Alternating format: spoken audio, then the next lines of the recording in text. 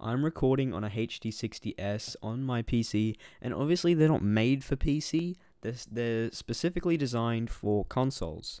Now, don't freak out like, oh, it's not going to work on the PC. No, it, it definitely works. You just have to try something else. And that is not using the Game Capture HD software. You probably looked it up on Elgato's YouTube. You probably followed that. You probably just downloaded this. And what it is, is just this kind of software. You know what it is, right? And you do not want to be using this.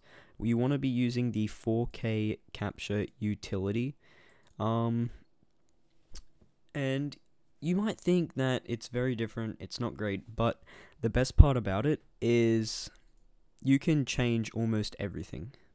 There is actually a little bitrate slider in this built into the settings. I put mine straight up to 60 megabytes per second and it's still going to record 1080p 60 fps.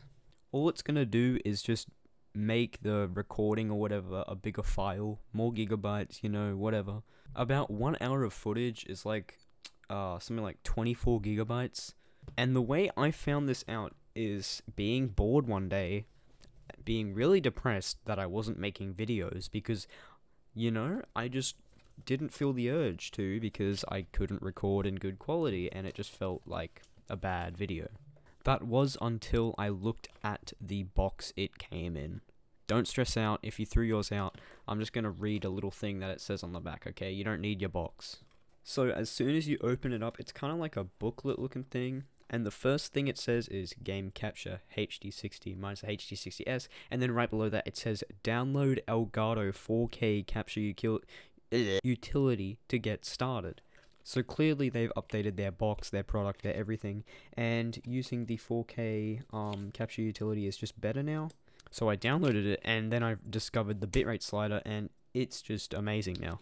So um yeah, if this if this did help in getting guys back on your channel, making content, I haven't seen any tutorial like this ever. I see people using OBS and everything. My OBS is just like it's slow. It's not it's not amazing and it stutters all the time, but here's one that will work.